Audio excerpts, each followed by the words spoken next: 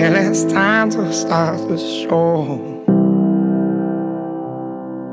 Centre field off. Phillips smashes one away. First there will be Rohan Smith. He's running him up across the half forward line. He draws the player. The Hemel to Brown. Watson good. This could be costly. Ginever's there to lend support. Back out to Rohan Smith. He rarely misses. Crispy in late. That's a goal. Oh, he loves kicking goals.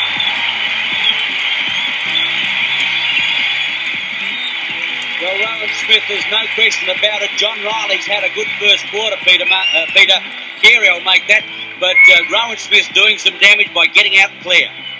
Yes, Rohan Smith has got that ability to just uh, be around uh, the forward lines on his own. And uh, mistake was made, but Rohan Smith kept running into space and uh, received the ball back. And uh, tremendous finish from Rohan Smith.